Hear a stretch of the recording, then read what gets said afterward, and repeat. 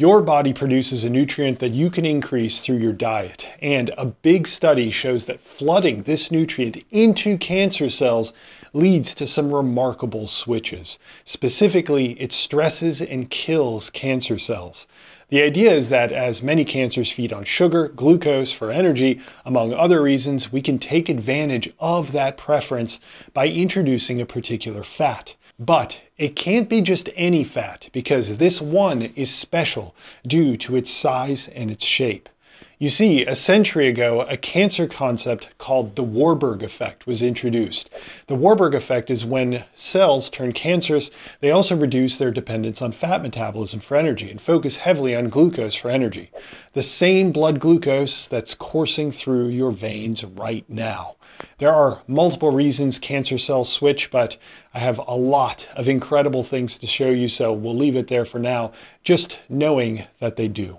Researchers can measure how aggressive cancer cells have shifted to glucose metabolism by measuring the production of the first step in the glucose metabolizing system called glycolysis. This first step, the moment that glucose enters the cell, is to trap glucose into the cancer cell by adding a tag, a phosphate to it, creating a new molecule called glucose 6 phosphate. We can see that data here. We're measuring G6P or glucose 6 phosphate levels so the higher the bar, the more G6P. The cancer cells are exposed to high glucose, primed for the Warburg effect, or low glucose environment, disabling the Warburg effect. Clearly, the high glucose leads to a significant increase. In fact, as further evidenced here, as the researchers have added a mitotracker, a dye, to the cancer cells to identify two things. One, the total number of mitochondria in green, and two, the oxidative mitochondria, meaning mitochondria that are producing cellular energy, likely through fat metabolism. Remember, that shouldn't be happening if the cancer cells are undergoing the Warburg effect. Then there's an overlap in yellow to identify both at once. We have the low glucose condition, the high glucose condition, non-cancerous colon cells from humans and mice. The cancer cells are human, FYI. And we can clearly see that mitochondria green exist in every single condition, but the red is largely extinguished when cancer cells are given a high glucose environment, again indicating the Warburg effect. This is also measured quantitatively in the bar graphs to the right. The thing is, researchers aren't just concerned with the shifts in metabolism, but also how cancer cells change their gene expression, as in how cancer cells read their genes to produce the appropriate proteins to function.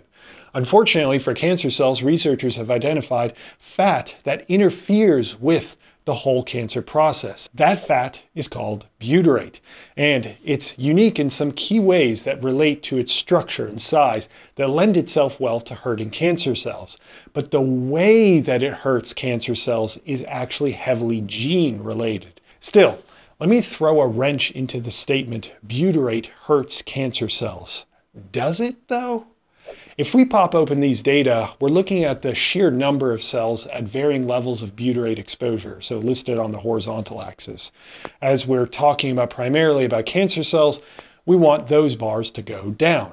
There are, however, three conditions, a Warburg effect, high glucose cancer cells, a non-Warburg cancer cells exposed to low glucose, and a third condition, which we actually won't worry about. It's a lactate dehydrogenase knockdown.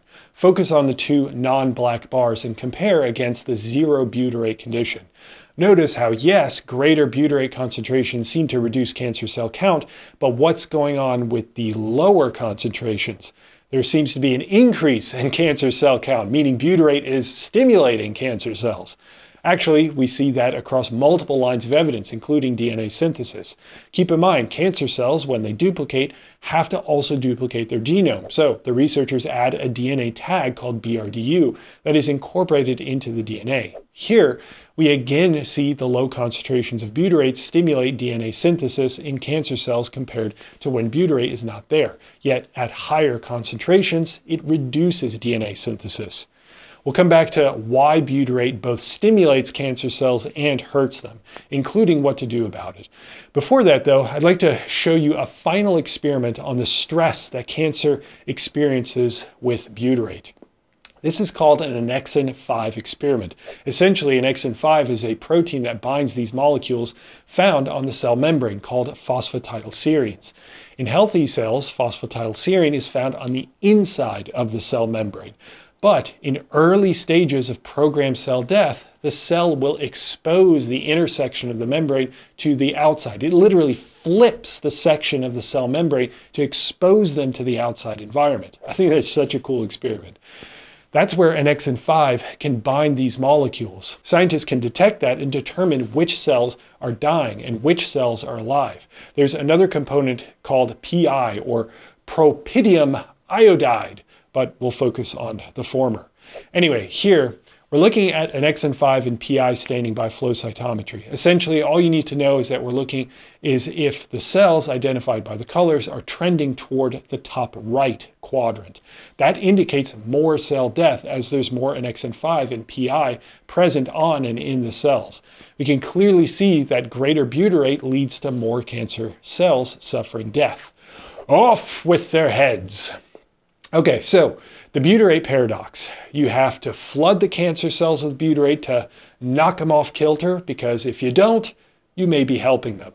Now let's figure out what butyrate is doing inside the cancer cells that's leading to these effects. And then we'll come to understand what to do. I briefly mentioned that cancer cells also change their gene expression, and one of the ways that they do that is through the process called acetylation. Your genes, and by extension cancerous genes, are wrapped up around these protein structures called histones. The cell can add or remove tags, known as acetyl tags, to the histones, which changes if the histones are closed up or open for the genes around them to be read by gene reading complexes. However, in certain cancer cells, there is reduced acetylation to lock up the certain genes, typically anti-cancer genes. However, what happens when the cells take up butyrate? Well, look here.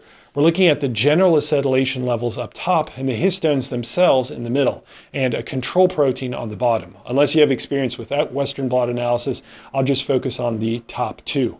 We're measuring the relative and absolute levels of acetylation, these tags on the histones, when the cancer cells are exposed to butyrate on the bottom. The darker and larger the splotch, the more there is. So clearly at the higher butyrate concentrations, there's more universal acetylation and possibly opening of the histones.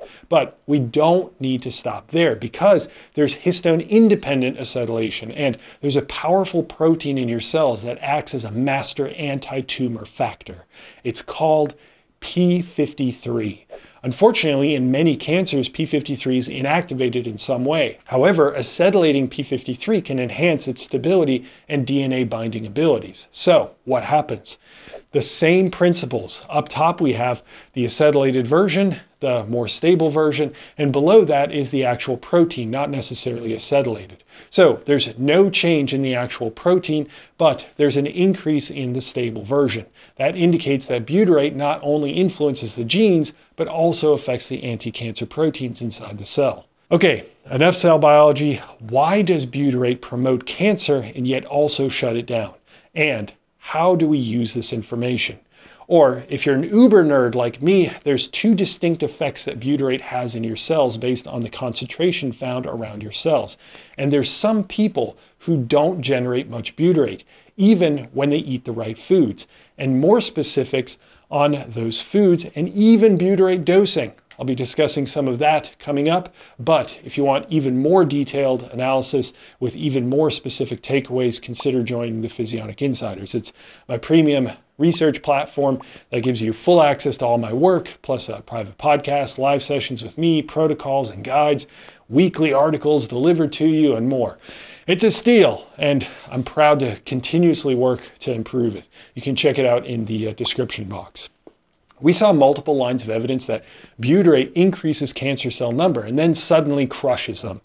Well, we've been focused on colon cells. Even the cancer cells are colon cells.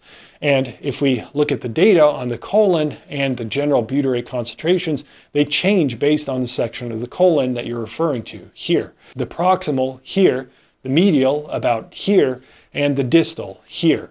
So that might raise this concern that cancer will only be killed by the proximal sections and not be killed in the medial or distal. Well, this is where the researchers have some words of wisdom because they address two things. One, if we zoom into your colon, there's these crypts which have been made by an assortment of cells. The top part is made up of differentiated, meaning cells that have chosen their job, epithelial cells, and the lower sections are a mixture of cells. But this is where cancer usually occurs because there are stem cells here too. The researchers point out that there's also lower butyrate concentrations here too, which again raises this worry that butyrate could be feeding the cancer then. Here's the thing though. Cancer cells undergoing the Warburg effect don't metabolize butyrate, even at low concentrations. So butyrate bypasses metabolism and acts on the genes, like we described with the greater concentrations of acetyl groups on the appropriate proteins, the histones, P53, and so on. If we revisit those first data that scared us, there's a key factor here that we didn't go over. The cells undergoing Warburg are diminished even at low concentrations. It's only cancer cells forced to stop the Warburg effect that duplicate more with, you, with butyrate addition. We'll come back to that. Okay, two, the amount of butyrate that we produce is quite high, assuming that you're eating the right foods, and likely exceeds throughout the colon the levels that we have in this study. So this all means that butyrate metabolizing capable cells like your colonocytes get the advantage of a butyrate boost in proliferation, but Warburg-centric cancer cells have a disadvantage even at low concentrations, but even more so at high concentrations. Still, that leaves us with a few pieces of context to mention because there's a few outstanding questions before we finish the, our journey here. One, this was largely in human cells, which we don't translate to humans directly without more proof in humans. Fortunately, the researchers acknowledge that there are human studies indicating that butyrate-centric foods are linked to reduce cancer.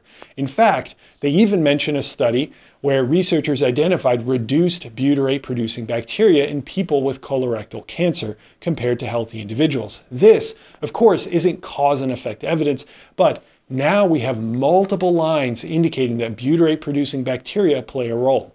Number two, some cancer feed on fat. So while yes, many cancers undergo this Warburg effect, not all do. And in fact, the researchers focused on one type of colorectal cancer, and there are others. So this seems useful for the majority, but may not be for all. Still, there's no way of knowing until a person has cancer, and the butyrate promoting foods are consistently linked to reduce cancer. So we probably shouldn't worry about the minority of cases and aim for the best case now. That means if you want to increase butyrate levels and drown these types of cancers, you'll want to eat foods that these bacteria in your gut take and turn into butyrate, which is dietary fiber rich foods. Some examples are things like green bananas, plantains, onions, garlic, potatoes, and there are plenty more sources out there. That said, the main takeaways here are that for most cancer types, those feeding on glucose, sugar, there's some evidence that the short chain fat butyrate hurts them and kills them. However, this may be the opposite in low doses for non-Warburg cancers, a minority of cancers.